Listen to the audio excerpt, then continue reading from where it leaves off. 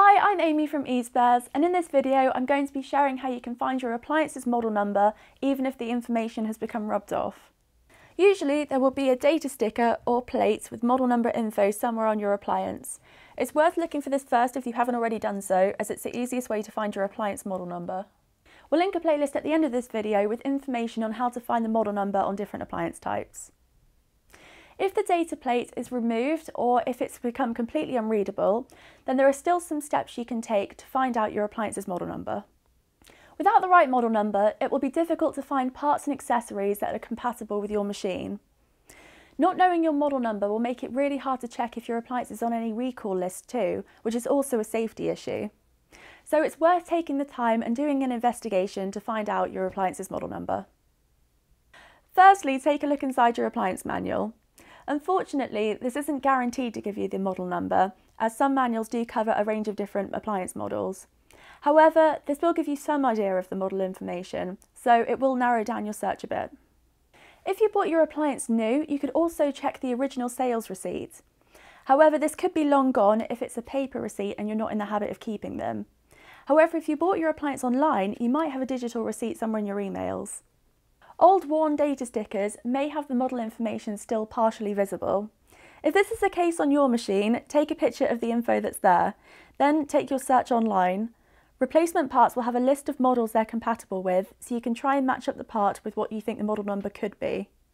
This isn't an exact method, of course, but it could still help you find what you're looking for. Finding replacement parts using just the partial model number can work, but you do run the risk of getting parts that don't quite fit or look slightly different to the original. If either your manual, your receipt or your data sticker only contain the partial model number, then you can always try contacting the appliance manufacturer. They're experts on their own machines, so their knowledge can help you fill in the gaps and identify your appliance model number.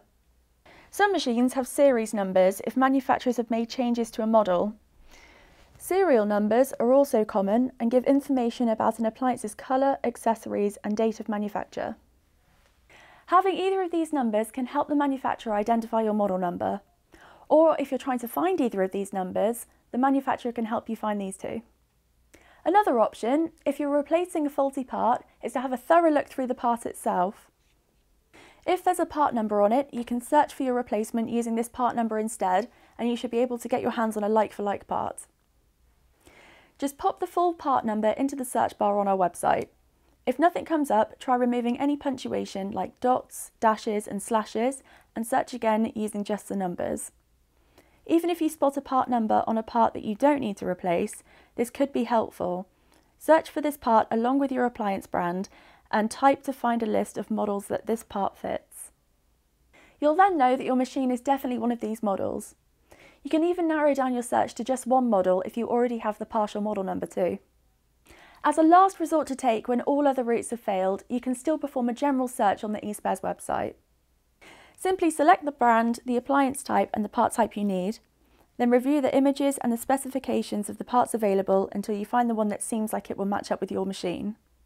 We wouldn't recommend doing this though unless you really can't find any model info for your appliance, there could be lots of parts to trawl through, and even if you find one that looks the same, it's not guaranteed that it will fit either.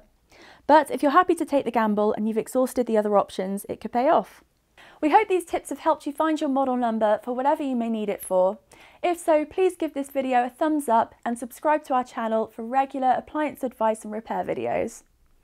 As promised, here's a playlist showing you how to find the model number on various appliance types around your home. Thanks for watching!